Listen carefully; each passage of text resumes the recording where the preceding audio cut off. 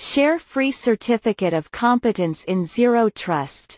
CCZT, exam questions for preparation.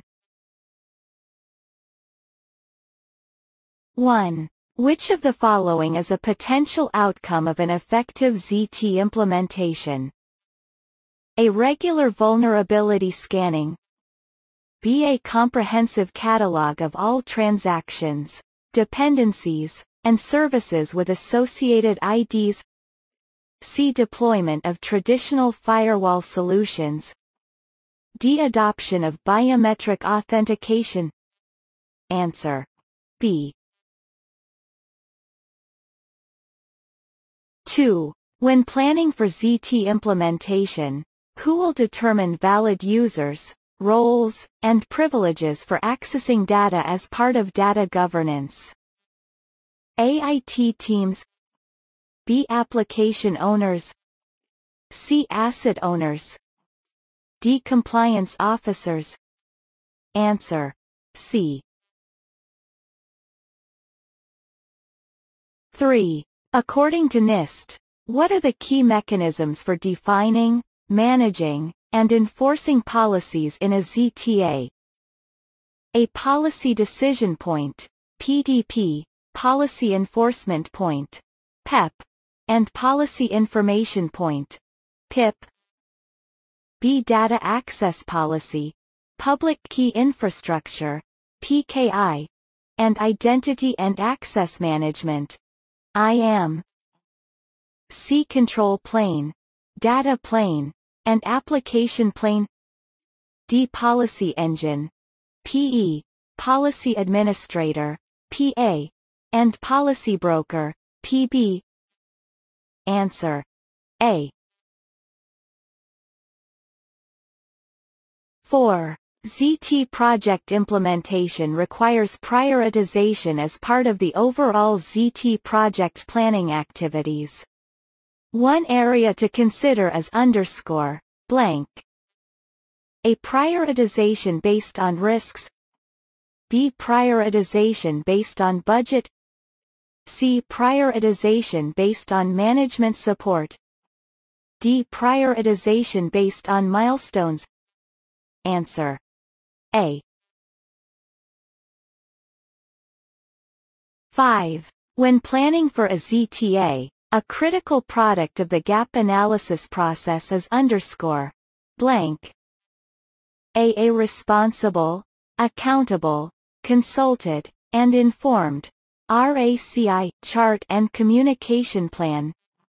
B. Supporting data for the project business case, C. The implementation's requirements DA Report on Impacted Identity and Access Management IM, Infrastructure Answer C. 6. During the monitoring and analytics phase of ZT transaction flows, organizations should collect statistics and profile the behavior of transactions. What does this support in the ZTA? A. Creating firewall policies to protect data in motion. B. A continuous assessment of all transactions. C. Feeding transaction logs into a log monitoring engine. D. The monitoring of relevant data in critical areas. Answer. B. 7. Which security tools or capabilities can be utilized to automate the response to security events and incidents? A. Single Packet Authorization, SPA B. Security Orchestration, Automation, and Response, SOAR C. Multi-Factor Authentication, MFA D. Security Information and Event Management, SIEM. Answer. B. 8. Which approach to ZTA strongly emphasizes proper governance of access privileges and entitlements for specific assets? A. ZTA using device application sandboxing B. ZTA using enhanced identity governance C. ZTA using microsegmentation D. ZTA using network infrastructure and SDPs Answer B.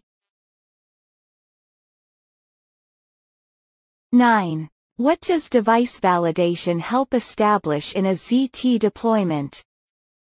A. Connection based on user B. High-speed network connectivity C. Trusted connection based on certificate-based keys D. Unrestricted public access Answer C. 10. In SaaS and PaaS, which access control method will ZT help define? For access to the features within a service. A. Data-based access control, DBAC. B. Attribute-based access control, ABAC. C. Role-based access control, RBAC. D. Privilege-based access control, PBAC. Answer B.